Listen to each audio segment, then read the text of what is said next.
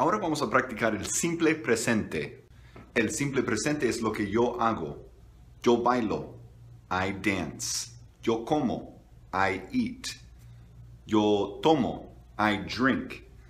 Yo arreglo. I fix. ¿Qué significa you live in Los Angeles?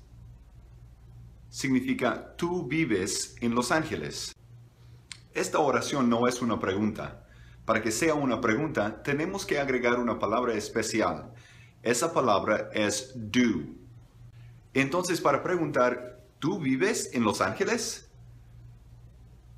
Decimos, ¿do you live in Los Angeles? Para decir, ¿tú hablas inglés? Decimos, you speak English. ¿Cómo podemos transformar esa oración en una pregunta? Exactamente. Do you speak English? ¿Hablas inglés? Do you speak English?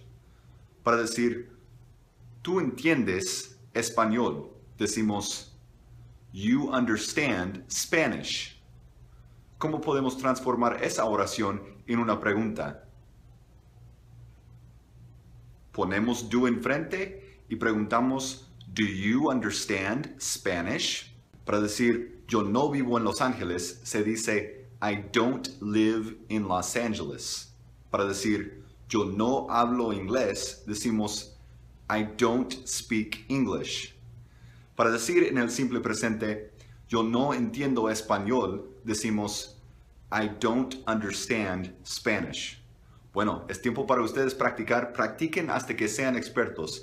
El simple presente es una de las, ah, las cosas más difíciles en inglés. Entonces, una vez que logran poder hablar en el simple presente, habrán progresado muchísimo. Éxito lo van a poder hacer, no se den por vencidos, lo van a poder hacer.